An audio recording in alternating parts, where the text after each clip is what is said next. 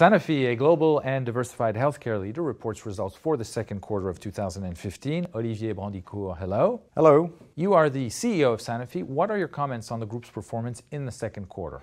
Well, I'm pleased with our results in the second quarter. Our performance was solid across the board. Sales reached 9.4 billion euros, up 4.9% at constant exchange rates, reflecting the strength of our diversified businesses. We deliver growth across all regions and businesses, except for diabetes, which was down 3.8%. But without the well-anticipated decline in diabetes, group sales were up 7.3% in the quarter. Pharmaceuticals grew 3.7% this quarter, reaching 7.8 billion euros.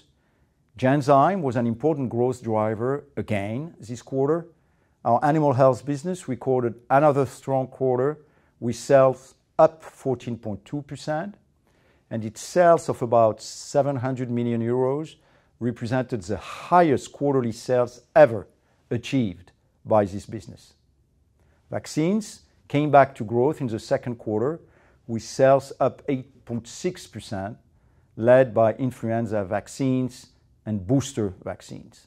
We also reported solid financial results despite the expected higher operational expenses driven by the investment in our multiple new product launches.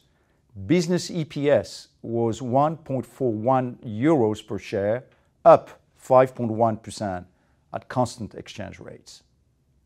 Similar to what we observed in the first quarter, we continue to see much stronger growth on a reported basis than at constant exchange rates for both the top and bottom line due to the currency impact.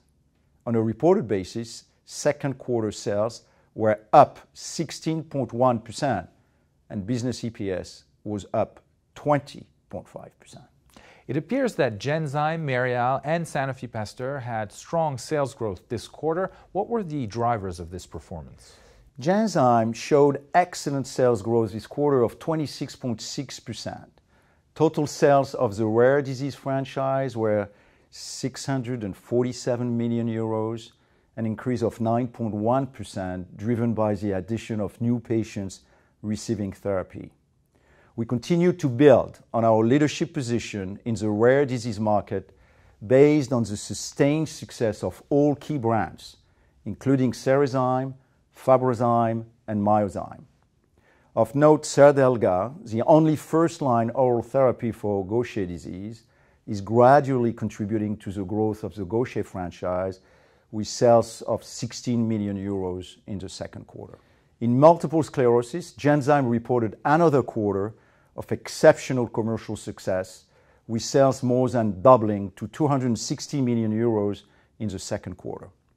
The franchise is now on a trajectory of potentially over 1 billion euros of sales on an annualized basis. For the first time, Aubagio became Genzyme's largest brand in terms of quarterly sales, and sales of Aubagio grew 80.4% to 204 million, driven by sales in the U.S. and Western Europe, with a particularly strong performance in France. The second quarter performance of Merial demonstrates a continued impressive recovery of this business. Sales increased 14.2% in the quarter, and animal health has now delivered its fifth consecutive quarter of growth. This strong performance is driven by the success of NexGard in the companion animal market, despite competition. Sales were also helped by an effective marketing strategy to defend our frontline franchise. Outside the pets business, we benefited from the strength of our ruminant and avian franchises. Finally, vaccines grew nicely in the second quarter, which was due to both increased influenza vaccine sales in the Southern Hemisphere and broadly positive sales momentum across many different product groups, with the exception of polio, pertussis, and Hib vaccines, where we had a high comparison basis in the second quarter 2014. Can you update us on the diabetes performance this quarter? How is the launch of Toujeo progressing? Diabetes sales declined 3.8% during the second quarter, consistent with the previous quarter and in line with our expectations for the full year.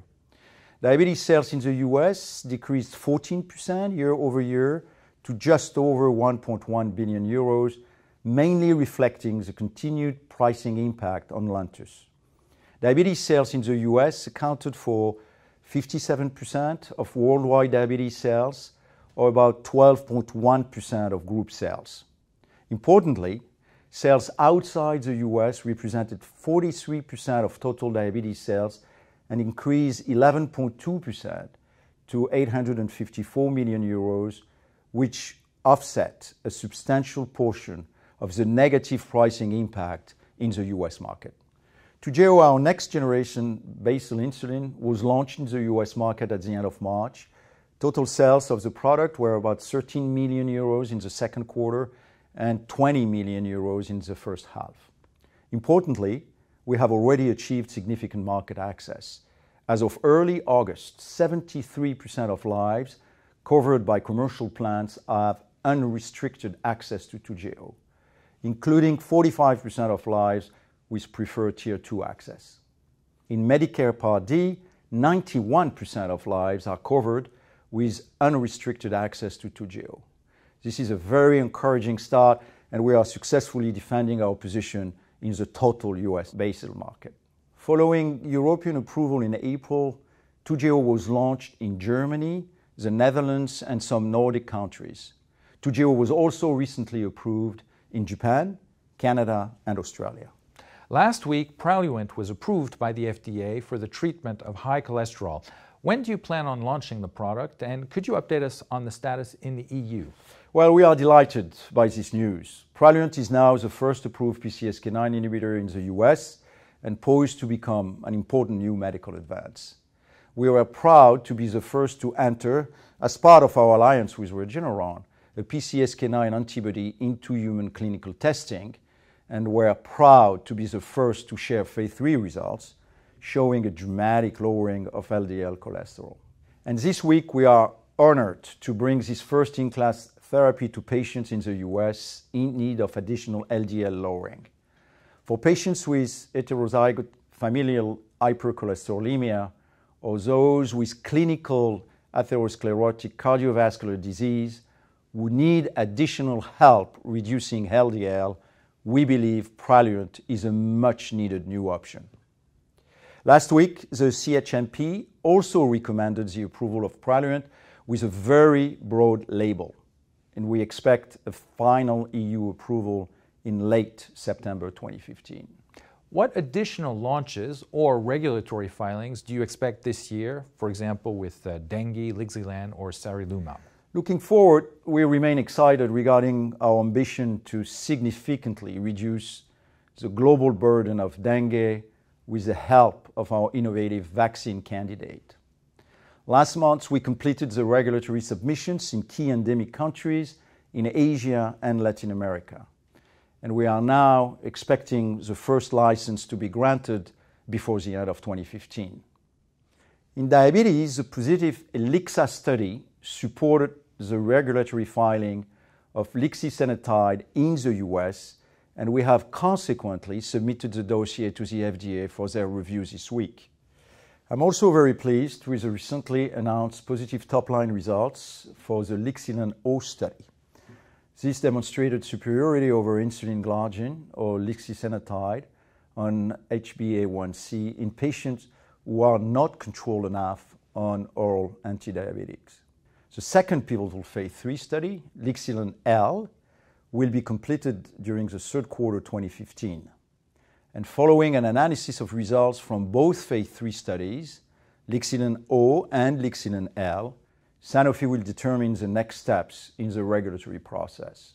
Currently, regulatory submissions are planned for the fourth quarter 2015 in the U.S. and the first quarter 2016 in the EU. Lastly, three phase III studies of sarilumab, our anti-IL-6 antibody against rheumatoid arthritis, recently met their primary endpoints, allowing for U.S. regulatory submission before year-end and one year later in the EU. And lastly, could you provide us with an update on your Regeneron agreement? Do you see yourself reinforcing your collaboration? Well, we just announced our new strategic alliance with Regeneron to develop treatments in the exciting field of immuno-oncology. This important collaboration establishes Sanofi's presence in cancer immunotherapy, which is projected to be one of the largest drug classes ever. Sanofi has always remained committed to developing innovative cancer therapies, and there are still significant unmet medical needs in oncology despite recent scientific progress with checkpoint inhibitors. This opportunity will expand our oncology pipeline as we work with Regeneron to develop best-in-class new IO antibodies and novel combination products. The alliance includes a PD-1 inhibitor, which is in phase I, and a portfolio of antibodies, including antibodies targeting LAG-3, GITR, and PD-L1, currently in preclinical development. Olivier Brandicourt, CEO of Sanofi, thank you very much. Thank you.